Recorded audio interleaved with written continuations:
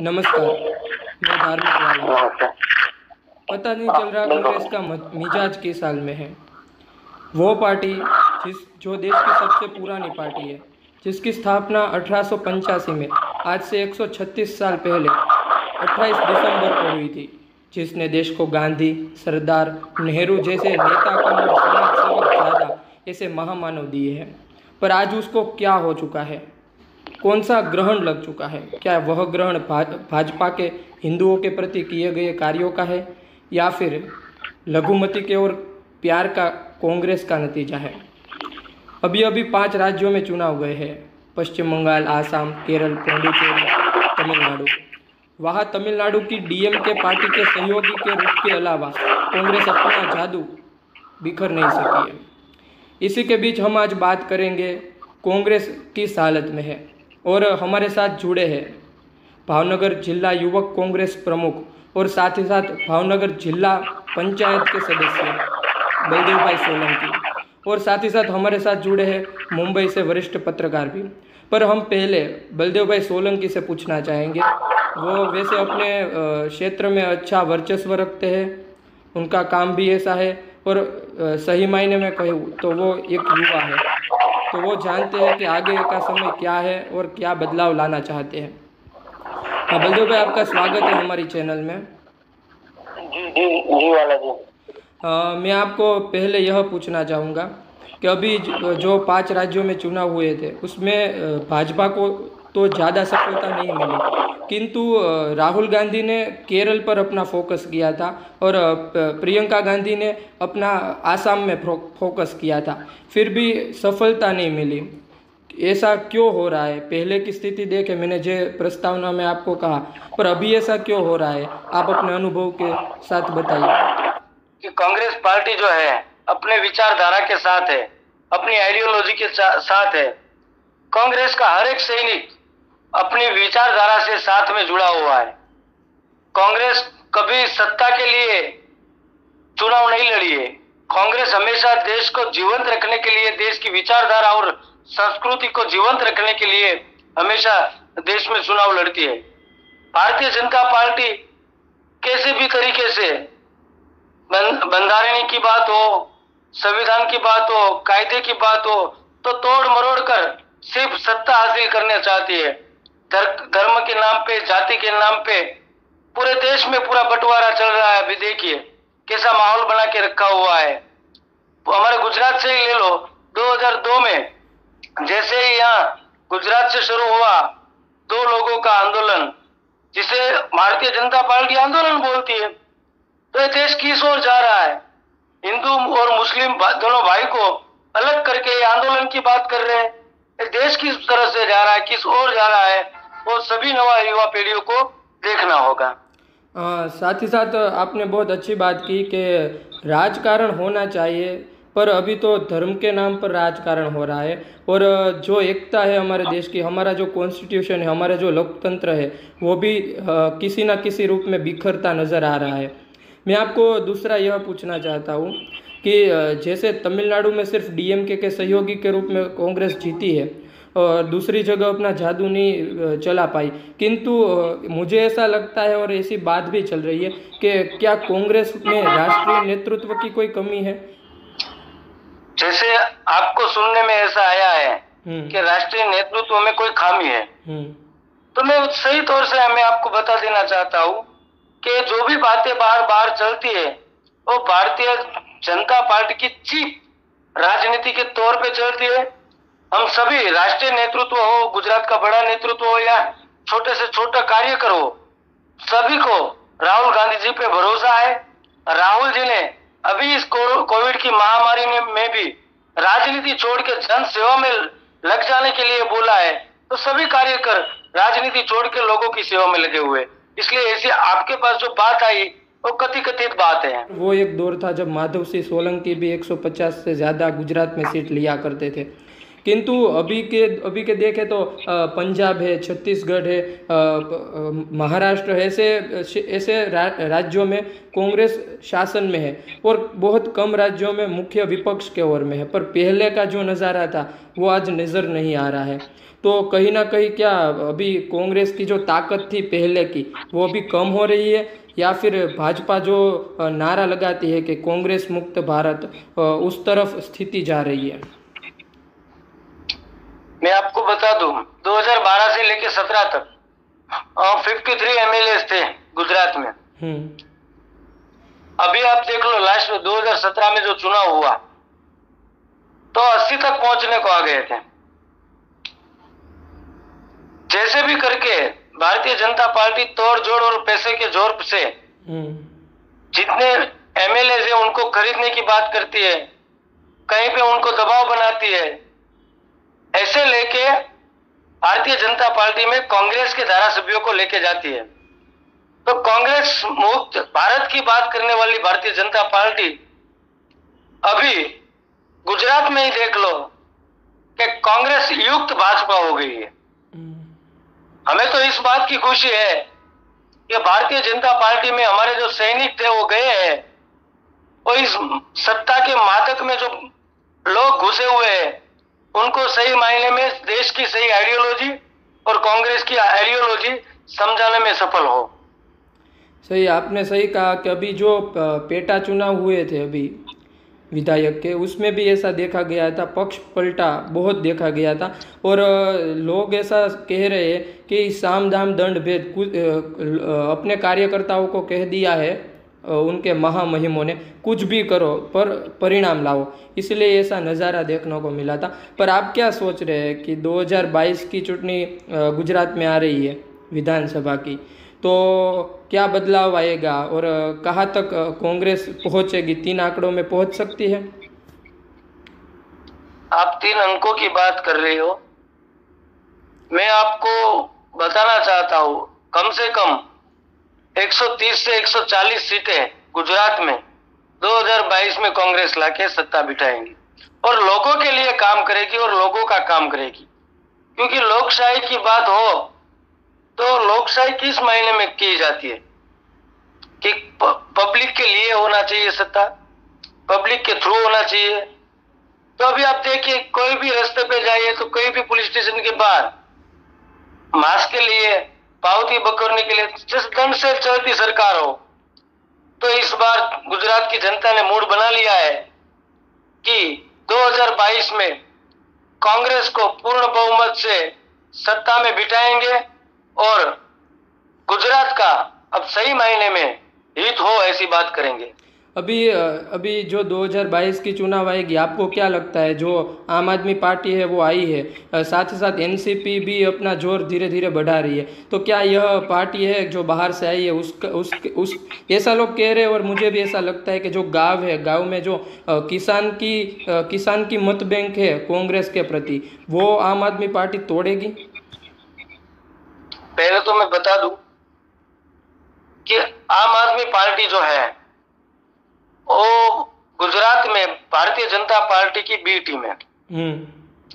आपने जहाँ भी देखा होगा एक पर्टिकुलर विस्तार में कि वहीं पे भी आम आदमी पार्टी का ज़ोर आया है। जहाँ पर भी भारतीय जनता पार्टी से लोग नाराज़ है और सभी वोट को आम आदमी पार्टी लेके चली जाती है और उसका सीधा फ़ायदा भारतीय जनता पार्टी को होता है। अगर मैं बात करूँ गाँवों की तो गाँव के अंदर आम आदमी पार्टी अपना वर्चस्व दिखाए तो मैं सही मायने में मानूं कि आम आदमी पार्टी लोगों के लिए आई है नहीं कि भारतीय जनता पार्टी के लिए। अभी भाजपा का आरएसएस बजरंग दल ऐसा सब कुछ ऐसी शाखाएँ चलती रहती है और उसी के वजह से उनको वोट भी अच्छे मिल जाते हैं। आपका कांग्रेस का भी सेवा दल है एनएसयूआई है तो आपको क्या लगता है वो फैक्टर काम करेगा इस बार? हमारे सभी फैक्टर्स जो है, हमारे सभी दल जो है एनएसपीआई हो, युवा कांग्रेस हो, महिला कांग्रेस हो, बड़ी कांग्रेस है, सेवा दल है, सभी एकजुट होके इस विचारधारा के खिलाफ लड़ रहे हमें कोई सत्ता चाहिए, ऐसी बात नहीं है। लेकिन जो देश के अंदर नफरत की राजनीति चलती है, नफरत की राजनीति को आगे बढ़ा, महत्व दिया जाता है, उसको हम बेर बिखेर करके देश के सही मायने में विकास की बात करेंगे देश के सही मायने में भाईचारे की बात करेंगे हम देश के अंदर एकता और प्यार बांटने चाहते हैं तो वही बात करेंगे। मेरा आखिरी सवाल आपको यह है कि 2022 के चुनाव में आपकी पार्टी बहुमत से गुजरात में सरकार बनाती है तो आपका पहला मकसद क्या होगा? क्या करना चाहेंगे आप गुजरात में? 2022 के अंदर चुनाव होता है। और हमारे जो मैनिफेस्टो रहते हैं उस सभी क्षेत्रों के अंदर के मजदूरों को अपना हक मिले महिलाओं को रक्षण मिले युवाओं को आगे लाने की बात हो छोटे और मध्यम उद्योगों को आगे लाने की लाने के साथ साथ पूरे गुजरात को हम एक साथ जोड़ के विकास की ओर और, और सही मायने में एकता की ओर भाईचारे की ओर लाने की बात करेंगे। आप हमारे साथ जुड़े बलदेव भाई आपका बहुत बहुत धन्यवाद। और अब हम हमारे साथ जो मुंबई से वरिष्ठ पत्रकार जुड़े हैं उससे साथ बात करेंगे। धन्यवाद आपका। जी जी। आपका स्वागत है सतीश भाई हमारी चैनल में। धन्यवाद। सतीश भाई मैं आपको यह पहले पूछना चाहता हूँ। अभी की परिस्थिति देख के क्या आपको ऐसा लग रहा है कि कांग्रेस पतन की ओर है, या फिर कांग्रेस मुक्त भारत जो बीजेपी नारा लगा, लगाती रहती है, उस तरफ़ जा रही है। ऐसा कहूँगा तो नहीं है, लेकिन कांग्रेस दिशाहीन हो गई है। इसके पहले जैसे कि आपने कहा सबसे देश की पार्टी है, उस समय जो कांग्रेस में दिग्गज नेताओं था, जिनके पास एक विजन था और वो देश चलाने के साथ साथ में पब्लिक का, प्रजा का भी वो मानस पढ़ सकती थी। लेकिन अभी जो भी कांग्रेस के जो दिग्गज नेता थे, या अभी तो कोई है ही नहीं, जैसे कि अभी सबसे आखिर में गुलाम नबी आज़ाद का हम नाम ले सकते हैं, जिनका अभी राज्यसभा से सांसद की ओर से उनका निवृत्त काल हुआ करके, जिसकी वड़ा प्रधान ने भी सराहनी की अभी कांग्रेस में कोई नेता ही नहीं है, दिशा ही नहीं हो गई है। आप गुजरात के देखो तो हार्दिक पटेल जो है वो भी कुछ नेता नहीं है। हालाँकि कांग्रेस ने उसको बड़ी ज़िम्मेदारी दे दी है। युवा वर्ग को आगे लाना अच्छा है, लेकिन उनके अनुभव के लिए और मार्गदर्शन के लिए एक पेड़ नेता जिनके पास विजन होना चाहिए, वो ज़रूरी है। आज कांग्रेस में से कहीं पर भी, पूरा देश में कोई भी ऐसे बड़े नेता नहीं है कि जो आने वाली पीढ़ी या तो पक्ष को कोई मार्गदर्शन कर सके। सोनिया गांधी जी के नेतृत्व में भी जो जब राजीव गांधी जी का हुआ इंसिडेंट और बाद में सोनिया गांधी जी उभर आई। तो देश को आज ये भी समझना चाहिए खास करके कांग्रेस के नेताओं को। कहाँ तक सिर्फ़ आप एक ही उंगली यानी गांधी परिवार की उंगली पकड़ कर ही चलेंगे। आप राहुल गांधी देखो मैं मानता हूँ थोड़े मेच्योर्ड है।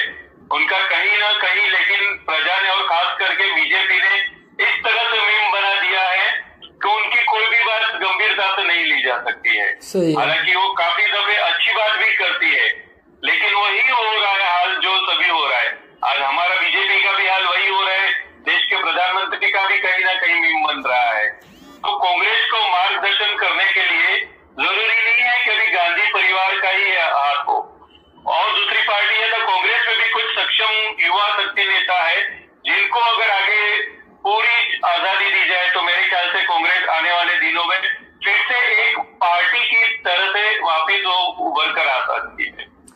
सही कहा आपने। हाँ मैं आपको यह पूछना चाहूँगा, आपने बात दोहराई है तो कि पहले की कांग्रेस थी वह वो भी कांग्रेस ही थी, वहाँ भी नेता होते थे, पर वह नेता बहुत अलग होते थे। वो नेता जो थे, उसके आज पढ़ाई में भी आता है। हमारे देश की जो शिक्षा है, उसमें भी उसका समावेश किया है। तो फिर इतना क्या फ़र्क आ गया? पहले की कांग्रेस थी और अभी की कांग्रेस है, उसमें इतना क्या डिफरेंस है? जैसे कि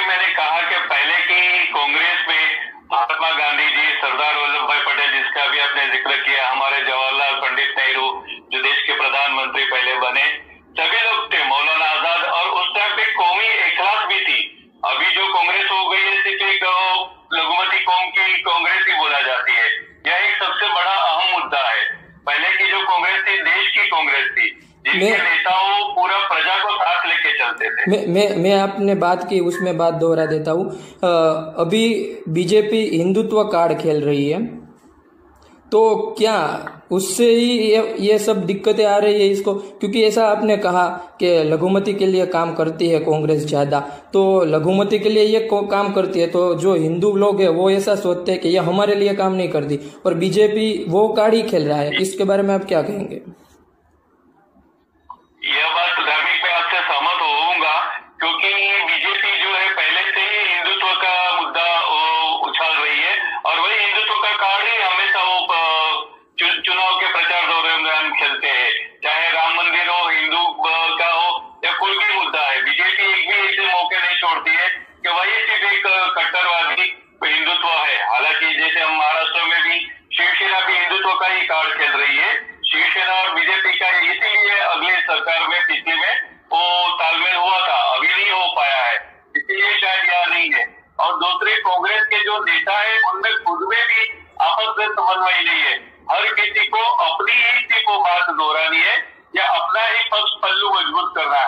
चाहे महाराष्ट्र हो गुजरात हो हरियाणा तमिलनाडु या कहीं पर भी हो आज भी ऐसा नहीं है कि पार्टी हाईकमांड चुनाव की जो है उसी का मानते हैं। हर बंदे को अपना ही पल्लू सीधा करना है। ये कांग्रेस की कमज़ोरी है। ताकि अभी जो भी लेता है वो सभी को सिर्फ़ कहीं ना कहीं अपना वो जो मुद्दा है वही रखना है। और पीढ़ी जो बोलते हैं ना पेड़ी दो पेड़ी हम्म। जैसे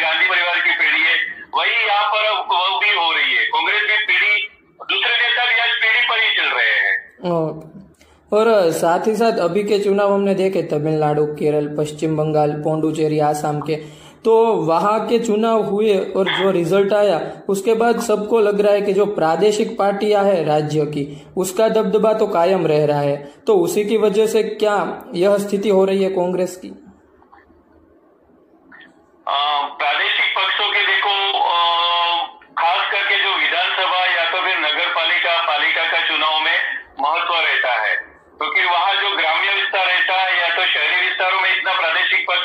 सफल होते हैं, लेकिन ग्रामीण स्तर है, वहाँ उनकी एक मज़बूत पकड़ होती है। कांग्रेस के पहले जो पाया के कार्यकर्ते, वो आज उनसे विमुख हो गए हैं और प्रादेशिक पक्षों, आज आप देखो तो जैसे बिलाड़ी की टोक की जैसे नए नए प्रादेशिक पक्ष पूरे इंडिया में फैला है। हालाँकि भारत को छोड़ के आप विदेश में कहीं पर भी देखो सिर्फ़ दो ही पक्ष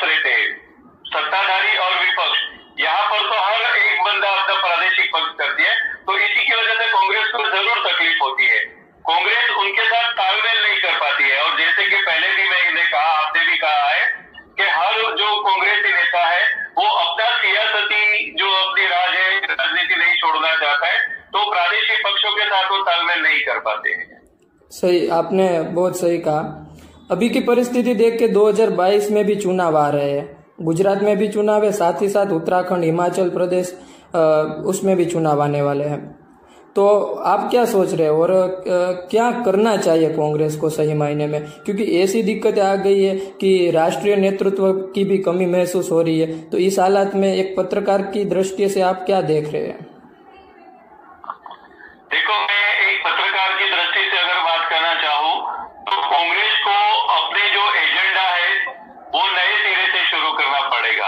क्योंकि आज अभी जो विकास का मुद्दा बीजेपी लेके घूम रही है, आज किसी को उसमें भी इंटरेस्ट नहीं है। ये कोरोना काल में सभी को पता चल गया है कि कौन सी पार्टी अपनी किस पे राजकीय रोटी छेक रही है। लेकिन कांग्रेस को अगर आने वाले, जैसे कि आपने कहा 2022 का या तो फिर अगले चुनाव की तैयारी करनी है तो सबसे पहले उनको आया कि जो उनके कार्यकर्ता है और जो भी पक्ष छोड़ के गए हैं, जिनकी उनको काफ़ी ज़रूरत है, और वो ऐसे को वो लौटा है, लेकिन सबसे ज़्यादा कांग्रेस के लिए उसकी खामियानी भुगतनी पड़ी है। आज बीजेपी में देखो तो सबसे ज़्यादा कांग्रेस से ही उसमें आए हैं और सत्ता लेके बैठे हैं। तो कांग्रेस को परिवर्तन के तौर पे अपने को, आपको सबसे पहले एक नए एजेंडा पाए के कार्यकर और जो नेता की उनको ज़रूरत है, जो मार्गदर्शन कर पाए उनके विरोधक थे जैसे कि शरद पवार का पक्ष है एनसीपी हम्म। तो महाराष्ट्र क्या ये प्रादेशिक पक्ष है? आज की तारीख को नेशनल उसमें नहीं गए नेशनल पार्टी नहीं कहलाती है। तो इसी तरह कांग्रेस जो एक नेशनल पार्टी है अगर नए सिरे से अपने एजेंडा और खास करके युवा कार्यकर्ताओं पे ज़ोर दे और एजुकेशन नीति प्रियंका गांधी वडेरा से काफ़ी उम्मीदें हैं कांग्रेसी कार्यकर्ताओं की। अगर वो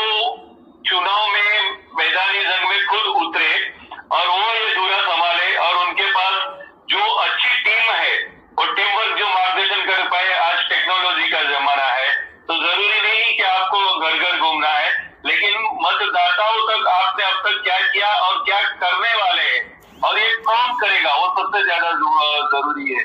आज उम्मीदवार को देख के वोट दिए जाते हैं पार्टी को नहीं। सही है। अ, मैं आपको आखिर में यह सवाल पूछना चाहूँगा कि जो 2022 में चुनाव आ रहे हैं मैं प्रॉपर गुजरात से हूँ तो मैं गुजरात की बात रखना चाहूँगा।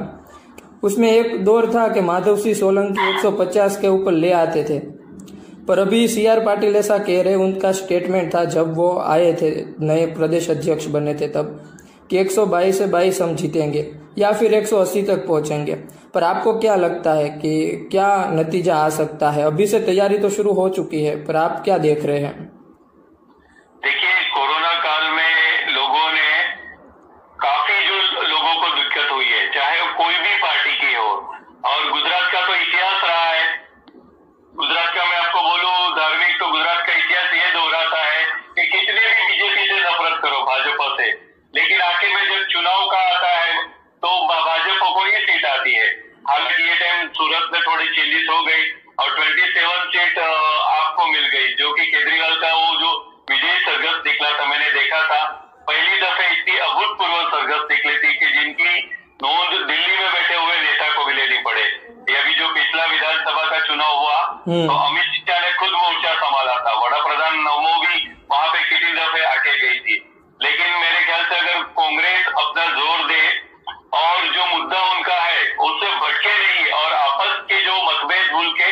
तालमेल होकर चुनाव पे केंद्रित करे तो डेफिनेटली कांग्रेस गुजरात में तीन आंकड़े में आ सकती है। पिछले चुनाव में आते आते रह गई। शंकर सिंह वाघेला भी उनके साथ थे और वापस हो गए वो आवन जावन करते हैं। अभी- मैं उनका इतना महत्व नहीं रखता हूँ। आपने शंकर सिंह की बात की तो मुझे याद आ गया। तो अभी तो शंकर सिंह अभी कांग्रेस से थोड़े रूठे रूठे से नज़र आ रहे हैं। बीच में उन्होंने राहुल गांधी को गुजारिश भी की थी कि अगर बुलाएँगे तो वापस आ जाएँगे। तो क्या लगता है गुजरात में चुनाव आ रहे हैं तो उनको ले लेना चाहिए अपने खेमे में फिर से? देखिए शंकर सिंह वाघेला को भाजपा और संगठन के सबसे पुराने खिलाड़ी है। सही है। कांड में भी आपके सामने ही है और वो चीफ मिनिस्टर बन भी गए थे। लेकिन अभी जो है हालात ऐसे है कि उनका कुछ इतना महत्व नहीं रहता है। तो मुझे नहीं लगता है कि शंकर सिंह वाघेला कांग्रेस में रहे या न रहे उससे कुछ फ़र्क आए। अपने बेटे या खुद भी वो नहीं कर सकते हैं। तो मुझे नहीं लगता है कि उससे कोई फ़र्क बने। हाँ लेकिन जो एजुकेटेड यंगस्टर्स है और जिनको रियली पॉलिटिक्स में इंटरेस्ट है तो इन्हीं बंदे लोगों को लेकर आगे कांग्रेस को चलना चाहिए। ना कि हार्दिक पटेल फैक्टर भी फेल हो गया है। सही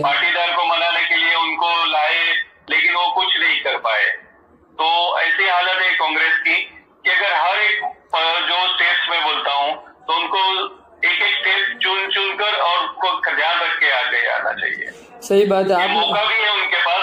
कोरोना काल में खास करके भाजपा की कामगिरी। हालाँकि हर राज्य में जो भी सत्ताधारी पक्ष है या केंद्र सरकार की पक्ष है, हर सरकार फैल गई है। तो हर लोगों को कहीं ना कहीं अपनी जो भी स्थानिक सरकार या केंद्र सरकार की ओर नफरत है। नफरत मैं बोल रहा हूँ शब्द। इसलिए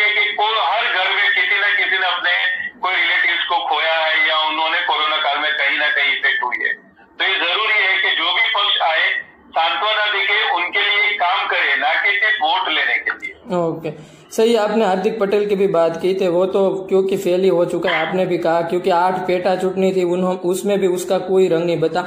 और जो आठ पेटा चुटनी हुई थी उसमें पटेल वोट बैंक के भी कई क्षेत्र थे पर वहाँ भी कोई ज़ोर नहीं था। फ़िलहाल मेरे सवालों का सिलसिला अब खत्म हो चुका है। आप हमारे साथ जुड़े हमारे साथ बात की उसके बदल हम आपका धन्यवाद करते हैं।